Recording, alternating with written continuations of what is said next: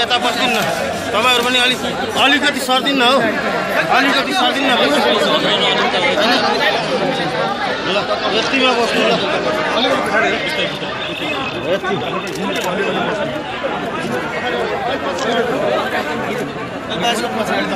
पछाडि जाऊँ ma'am ma'am अलिकति पछाडि। बस्नु म्याडम अलिकति पछाडि यता न सबले देख्छन् हौ अलिक मात्रै आइदिउँ न। हजुरहरूभन्दा अगाडि मान्छे राख्नु त्यही भने यहाँ हजुरहरूभन्दा अगाडि मान्छे कोही हुँदैन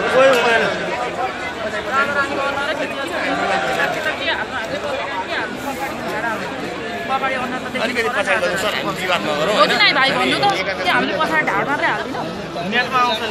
नेटमा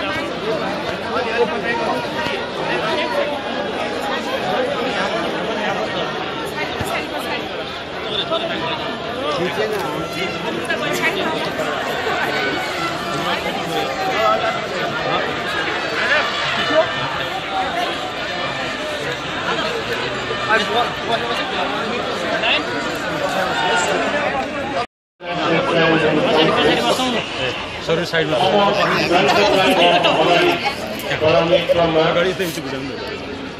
सर यता साइडमा बस्नु ल पुष्पगुच्छ सराइदिनका लागि म योगी आदित्यनाथज्यूलाई हार्दिक अनुरोध गर्न चाहन्छु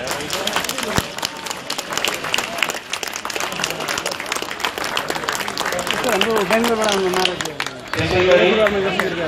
उहाँ हाम्रो हो पुष्पगुच्छ चढाइदिनका लागि म world Hindu फेडरेसनका honorary NAC general Bharat Keshar सिंहज्यूलाई हार्दिक अनुरोध गर्न चाहन्छु उहाँ विश्व महासङ्घका मार्गदर्शकको रूपमा पनि परिचित हुनुहुन्छ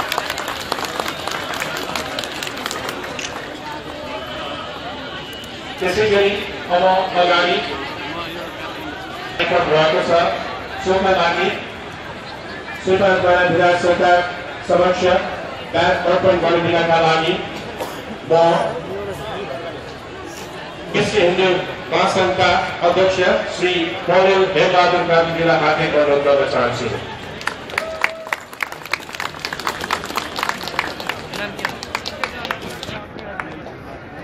त्यसै गरी श्री परम्परा माननीय सरकारको छलफलमा ब्याज दिनका लागि म उपाध्यक्ष श्री अजुल प्रसाद पास्टुलाई हार्दिक अनुरोध गर्न चाहन्छु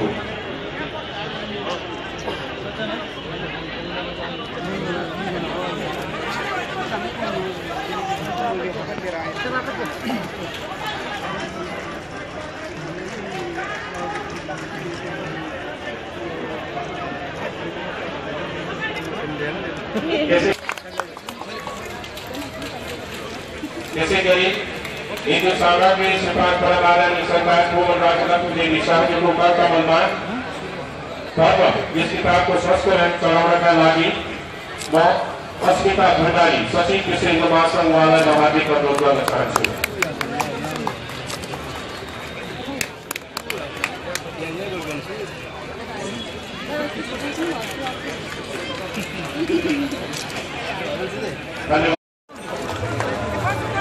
स्वस्तिक वाचनहरू र सफल याद पनि गरिदिनु होला कारण अगाडिबाट आजको यस अन्तर्राष्ट्रिय विराट सम्मेलन कार्य सम्पन्न हुँदैछ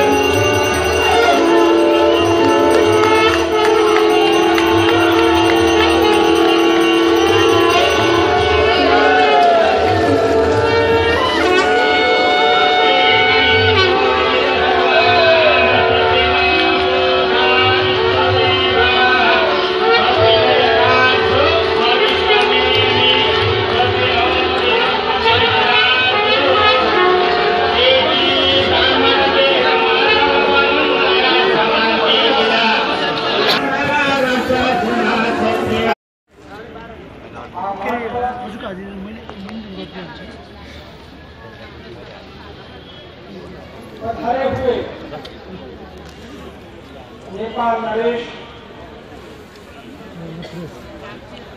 ज्ञानेन्द्र जी सम्राट जी मंच पर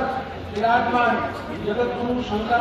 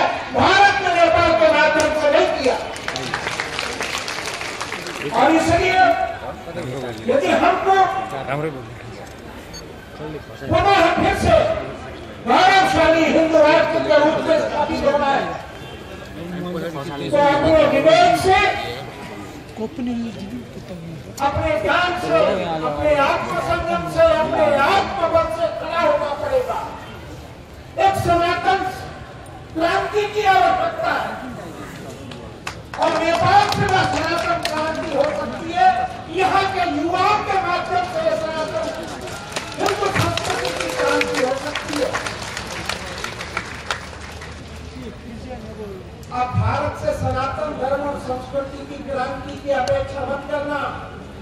वहाँ से प्रेरणा की अपेक्षा मत करना। वो 500 साल तक गुलाम रह करके गुलाम मानसिकता से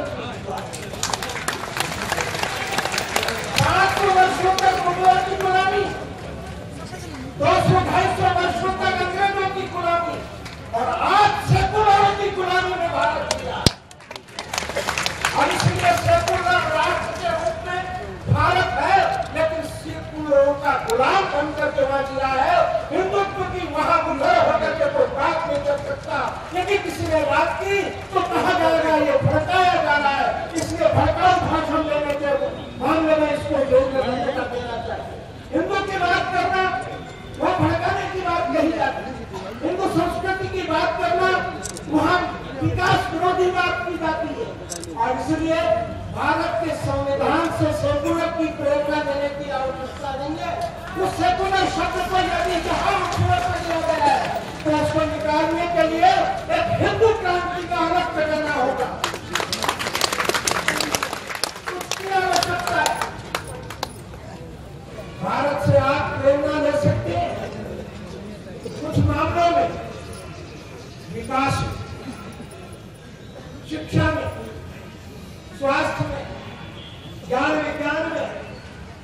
तकनीक की प्रगति में,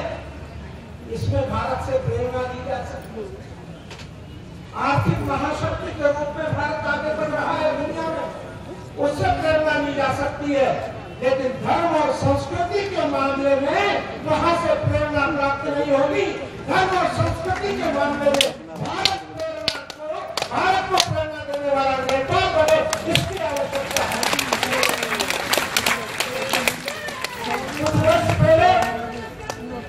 Muito mais superior.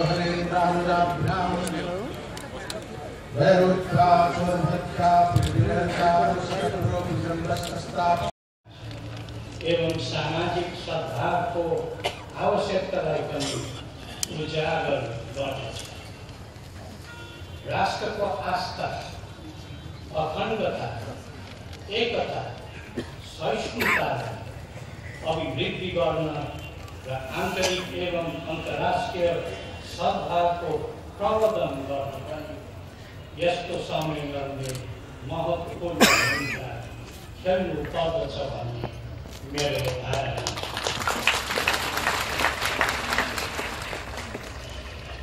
सम्पूर्ण हिन्दू दर्शन एवं संस्कृतिमा हिमाललाई देवभूमि भूमि मानिएको छ यसको मध्यमणि समान विविधताले नेपाल स्थापना गरी हिमालको शोभा र नेपालको महत्त्व बढाएको छ यसै धार्मिक भावनाबाटै नेपालले देवभूमि तपोभूमि योगभूमि भन्ने नाम पाएको छ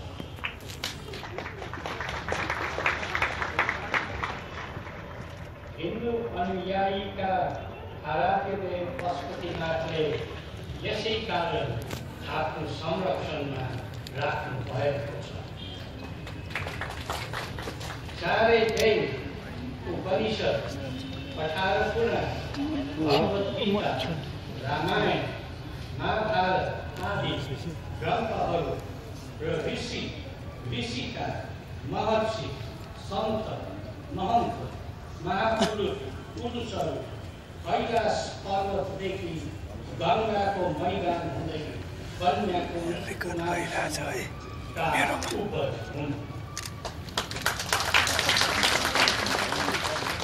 अनादिकालदेखि चल्दै आएको वैदिक सनातन हिन्दू धर्म ओंकार परिवारमा बौद्ध प्रकृति पूजक जैन सिख आदि समस्त हित केन्द्रित अध्यात्मवादको उद्गम पृष्ठभूमि हो गुरु गोरखनाथको आशीर्वाद प्राप्त यो भूमिमा हामी एकत्र भएका छौँ नेपाल हिन्दू बौद्धहरूको लागि सधैँ प्रेरणाको अक्षय स्रोत हो आज हामी धर्म संस्कृति माथि कालो बादल मडारिएको छ तसर्थ हाम्रो पराक्रम धर्म संस्कृति र सभ्यतालाई पुनः जागृत र सुसंस्कृत बनाउनु एकबद्ध गर्नु पर्ने खाँचो देखा परेको छ जुनसुकै युग देश र कालमा पनि सत्य सत्य नै रहन्छ त्यसै गरी असत्य असत्य यो कुरा हाम्रा ऋषि महर्षिले सिकाएका हुन् र मानव मात्रले अनुभव गरिआएको कुरा हो आफ्नो भाषा इतिहास धर्म दर्शन यस्तो सोच होस्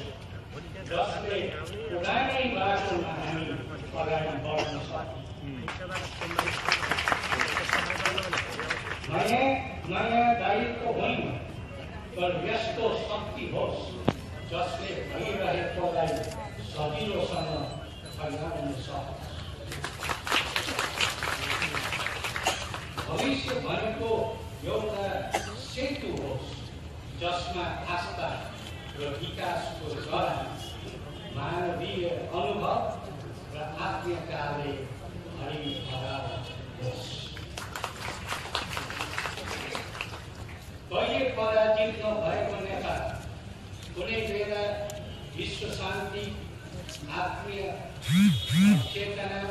र सहिष्णुता सहिष्णुताको उपमा थियो भने आज हामी कुन अवस्थामा छौँ भनेर सोच्नै पर्ने बेला आएको छ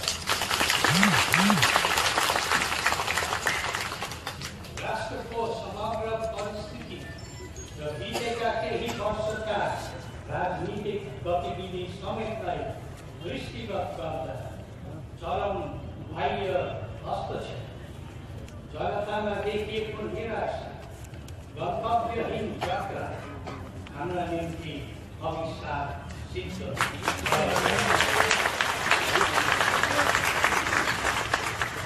यस्तो विषम जटिल र क्लिष्ट परिस्थिति किन र कसरी सृजना भयो यसका कारक तत्व के के हुन् भन्ने कुरा अब नेपाली जनताले नै प्रश्न गर्नुपर्ने बेला भयो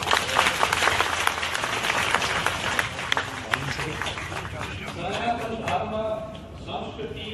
र सभ्यताको प्राचीन भूमि नेपालले आफ्नो मौलिक चिनारी हजारौँ वर्षको पुरानो सभ्यता परम्परागत धर्म संस्कृति तथा राष्ट्रियता प्रतिको संवेदनशीलतालाई विधाङ्कन गरे र सबै मिले अघि बढ्ने हो भने हामी पुनः दिगो शान्ति स्थिरता र स्वाभिमानको रक्षा गर्न सक्छौँ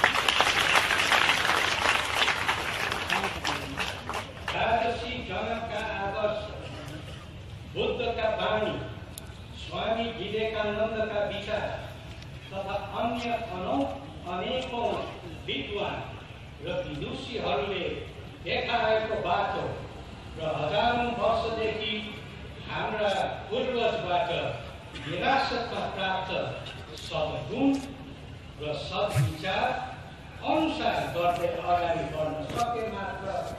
ज्ञान र विज्ञानका बिच सन्तुलन times going to salt.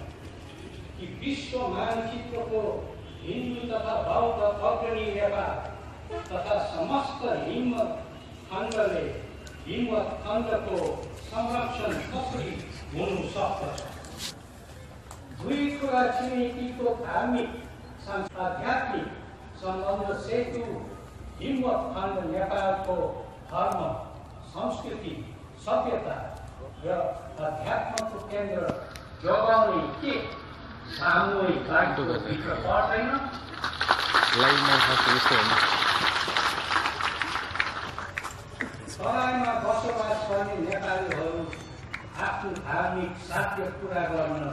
पहाडी र हिमाली क्षेत्रमा अवस्थित मुक्तिमा गोसाइकुण्ड हरेसी र पाथिभारा जस्ता पवित्र तीर्थ स्थलसम्म पुग्छन् भने हिमाली र पहाडी क्षेत्रमा बसोबास गर्ने नेपालीहरूको पवित्र धाम जनकपुर र डुम डुम्बिनी रहेको छ।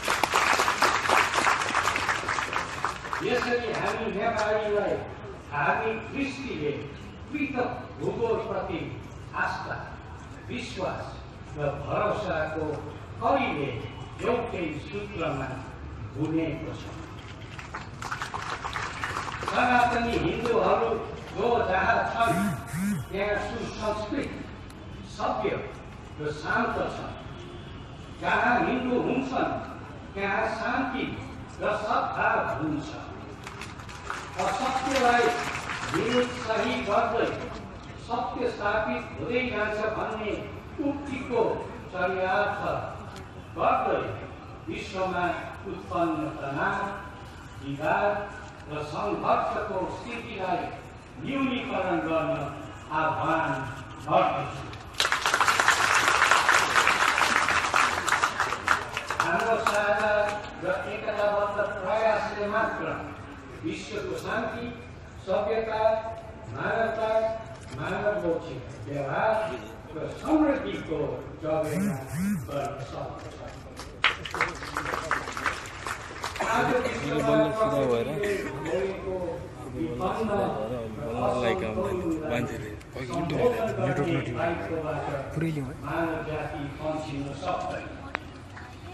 हाम्रो दर्शनले हामीलाई त्यसको संरक्षणको दायित्व सुम्पिएको छ दर्शनबारे कोरा बहस हाम्रो लक्ष्य होइन र हुनु पनि हुँदैन यस दर्शनबाट हामी कसरी निर्देशित हुने जीवन र जगत अनि राष्ट्रप्रति हाम्रो दायित्व के हुने यी विषय आजको सन्दर्भमा अझ बढी गम्भीर बन्न पुगेको हाम्रो दर्शनले हामीलाई सधैँ अगाडि बढ्न निर्देशित गर्दछ। तर व्यवहारमा निषेधको राजनीति आदि अगाडि बढाइन्छ भने त्यसले राष्ट्रमा असन्तुलन निम्त्याउँदछ। असन्तुलनले उपेक्षा जन्माउँदछ। र उपेक्षितहरूमा विद्रोह जन्मिन सक्दछ आजको यो स्थिति हाम्रो दर्शन बिच हामीले आफूलाई राखेर हेर्न सक्यौँ भने यथार्थलाई स्वीकार्न र परिस्थितिलाई सुधार्न सहज हुनेछ अन्त्यमा बहुजन हिताय बहुजन सुखाय यो मूल मन्त्रमा आत्मसात गर्दै अगाडि बढ्नुको हामीसँग विकल्प छ हामी सबै सनातनी ओमकार परिवारहरू यही साध्य प्राप्तिका लागि कर्म प्रयासमा जुट्छौँ श्री पशुपतिनाथले धर्म संस्कृतिको पुनरुत्थान गर्नमा and solid property for land. So, Jay. Jay!